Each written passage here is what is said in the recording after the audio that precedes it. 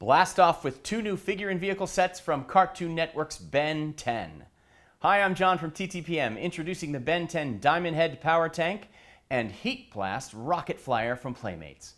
For ages 4 and up, kids can play out adventures with their favorite superhero and two of his alter egos.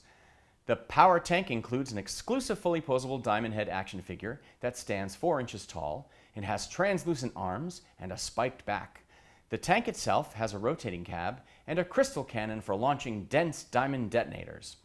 There are wheels for rolling, though they are masked by fake treads. The powerful diamond drill extends from a mechanical arm and can be turned manually. The green crystals of Petropia make this power tank that is ready to drill on the hardest surfaces. From the planet Pyros comes the twin rocket engine Heatblast rocket flyer.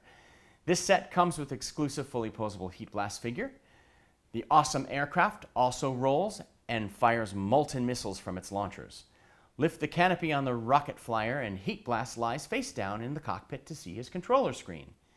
Each set comes with a few decals and some small attachments, which may require some simple adult assembly. For current pricing and where to buy, check us out at TTPM and subscribe to our YouTube channels for more great reviews every day.